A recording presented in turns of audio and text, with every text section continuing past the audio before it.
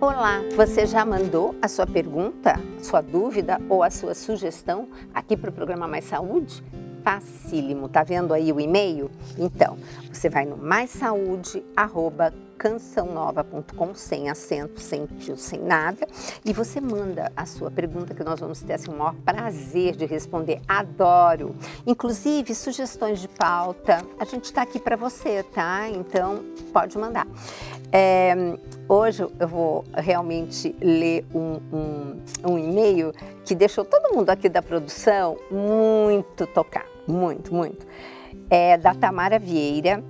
Tamara Vieira, de 13 anos, de Balneário Camboriú, Santa Catarina, que é um lugar lindo, né? Privilegiada você, Tamara, de morar aí. Olha que bonitinho. Eu sou Tamara, tenho 13 anos e amo você, doutora Gisela. Ai, adoro quando vocês falam isso. Muito obrigada. Eu fico, realmente eu faço isso com o maior carinho e amor para vocês, então é muito gostoso a gente receber um carinho também de volta, tá? Minha mãe mudou nossa alimentação por causa do seu programa. Ai, gente, isso é máximo. Todos os meus amigos na escola me elogiam porque todos dizem que eu sou muito regrada.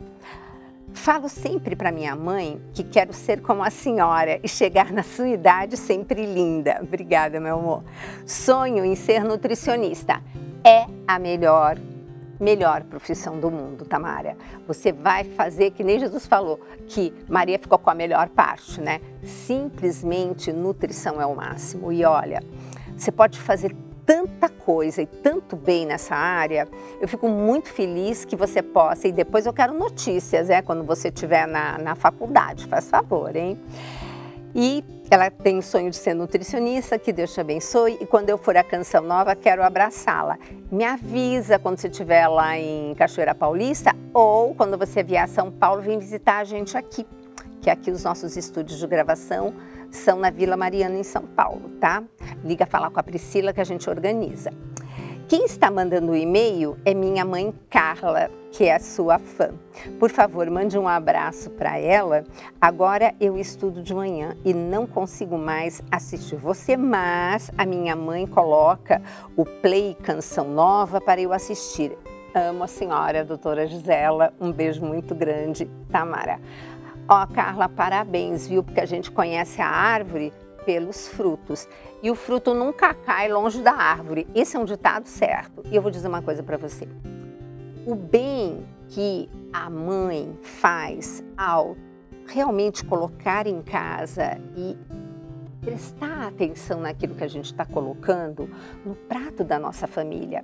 Porque muitas vezes eu vejo mães precisando levar as crianças ao psiquiatra porque a professora chega e diz assim: olha, essa criança, ela está precisando de alguma coisa, porque eu estou explicando, ela está olhando, de repente vem a borboleta, voa, e a criança voa junto com a borboleta, ela não para quieta, ela não presta atenção. E se eu disser para você que aquele peito de peru, que todo mundo acha a coisa mais saudável do mundo, tem um corante, porque peito de peru não é rosa, é branco. E aquele corante é excitatório cerebral.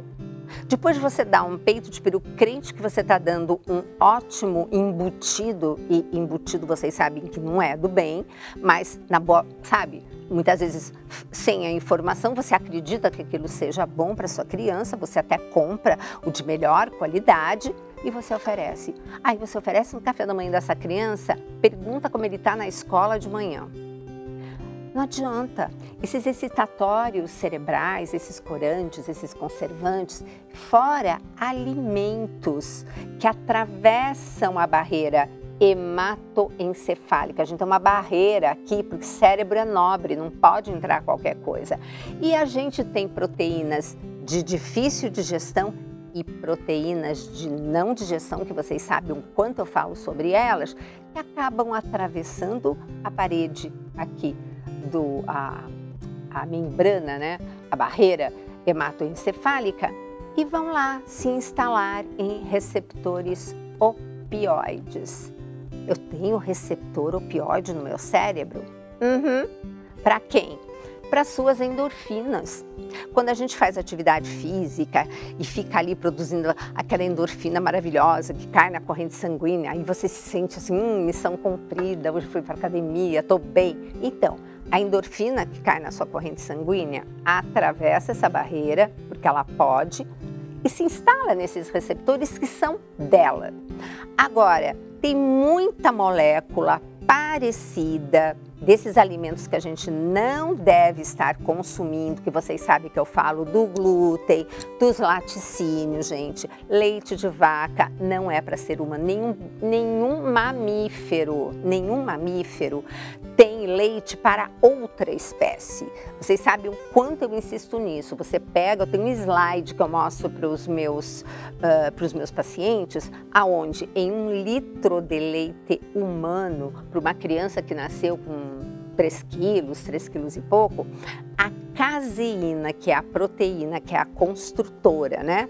Para aquele bebê só mamando crescer durante aqueles seis meses que nem água você precisa dar para esse bebê, é 18%.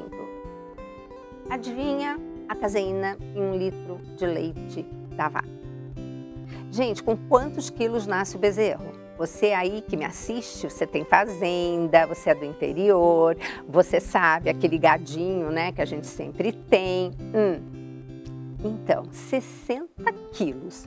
Você acha que um bebê que nasce com 60 quilos, quanto de caseína vai ter no leite da vaca? 82%. Então, como é que eu vou ter enzimas digestivas para quebrar aquele colar de pérolas de proteína em nutriente, que é o que? O aminoácido. Então, e ainda por cima, o gado que veio para o Brasil, é, logicamente foi escolhido um gado que desse bastante leite, evidente, né? E esse gado, justamente europeu, é um gado que sofreu uma mutação na caseína há uns 10, 11 mil anos atrás. Então, além daquela caseína ser de difícil digestão, naquele gado, quando chega, por exemplo, oito pérolas, né, que são os aminoácidos fazendo aquela proteína da caseína, e aí seu corpo vai cortando. Chegou no oitavo, ele consegue cortar, mas os outros sete não tem como. Aquilo fica inteiro. Aí sabe como chama isso? Beta, casiomorfina, 7. São sete aminoácidos inteiros que, quando você começa a digestão, eles se transformam. Vai comer queijo? Já está pronta. Iogurte? A mesma coisa. E justamente essa sequência de sete aminoácidos, o que ela faz? Ela mimetiza, ela imita justamente a nossa endorfina. Então ela tem passagem livre pela barreira hematoencefálica, se instala em receptor opioide e adivinha? Dá prazer. Por isso que muita gente tem uma dificuldade imensa em parar de consumir laticínios, comer queijo e iogurte, o próprio glúten. O glúten faz a mesma coisa. Então, uh, realmente a pessoa se torna escrava, dependente de um vício e a gente não quer isso para o nosso corpo, né? A gente quer liberdade para escolher aquilo que queremos, mas assim, com, com, com, uh, com livre-arbítrio, né? E ao passo que quando você tem todas essas moléculas entrando e se instalando no seu cérebro, você fica dispersa. O que, que são as doenças hoje, uh, que a gente fala doenças uh, uh, da nossa saúde mental? São doenças inflamatórias do cérebro. Porque quando essa molécula se instala no seu cérebro, nesses receptores opioides, o que, que acontece? O seu sistema imune local, aqueles soldadinhos que estão ali para protegê-la, percebem que tem gente estranha ali. Como é que ela vai retirar? O sistema imune retira inflamando. Por isso que nós estamos todos e todas nessa inflamação, que é esse incêndio dentro do nosso corpo. Por isso que eu falo tanto a respeito desses dois principais inimigos da nossa alimentação moderna. Isso não deveria fazer parte da nossa alimentação, é algo recente, E Deus não fez nada com glúten na natureza para a gente comer. Depois a gente conversa novamente sobre isso. Então, Carla, um beijo imenso, parabéns pela filha, a Tamara. E se vocês vierem aqui em São Paulo, venham aqui um dia de gravação, que vai ser um prazer recebê-las, tá? E parabéns por ser essa mãe tão presente e preocupada com a saúde sua e da sua família.